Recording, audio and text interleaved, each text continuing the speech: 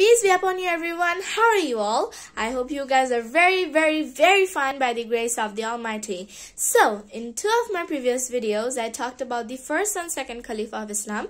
That means Hazrat Abu Bakr anhu and Hazrat Umar Farooq anhu.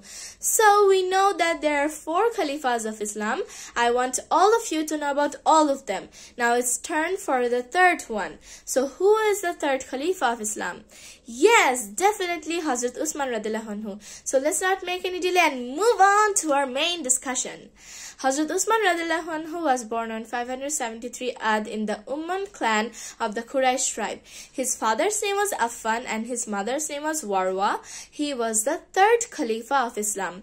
His characteristics were really nice and he was modest, pure and kind since his very childhood. Modesty was the unique characteristic of his life and after seeing his beautiful and good qualities, our Prophet Muhammad was mesmerized and so he married off his third daughter Ruqayya to Hazrat Usman anhu. But because of the death of Ruqayya, Hazrat Muhammad again married off his fourth daughter Kulsum to Hazrat Usman radillahu anhu.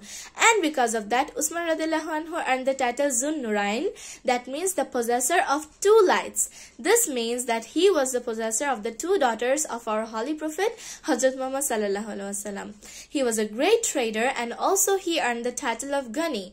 But when he accepted Islam, his uncle tied him with ropes and beat him mercilessly. He he didn't got even a little spare from his relatives, so he migrated to Abyssinia with his wife Rukaya.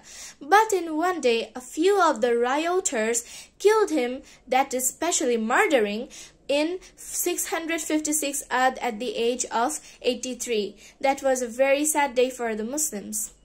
So, those rioters did not even think that this person has a great reveal and a great contribution to the society.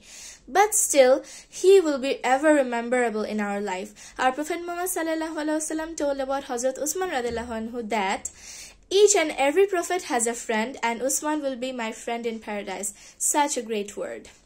Hazrat Usman anhu's Khilafat lasted for 12 years and in the first 6 years of his Khilafat, peace was each and everywhere of the world. He was a very nice ruler and he even didn't take a single money from the country's territory because he knew that the money would be helpful for those who have no food for themselves, no clothes for themselves, no place to live. He was a very kind-hearted person and he was one of the most popular people persons in the Khilafayat Rashidun. The Khilafayat Rashidun. This is one kind of organization and this refers to the Khilafats, that means the Khalifas of Islam. He was the most popular among the Khalifas. His characteristics make us understand that we should never do anything that dissatisfied our God because if we are satisfied by the god then we will get inshallah paradise in future. So i hope you guys have loved my presentation. This presentation was very heart feeling i have to say because when i was saying to you i was feeling the presentation and it was so so so heart feeling thank you so much for watching this video. Inshallah i'll come up with another interesting topic next time. Till then keep your eyes on my videos. Tata for today. Fiamanillah আপনার সন্তান আপনার কাছে?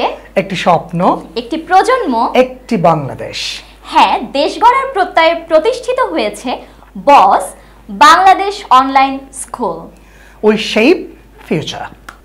For admission please call or SMS to 0162 000 4200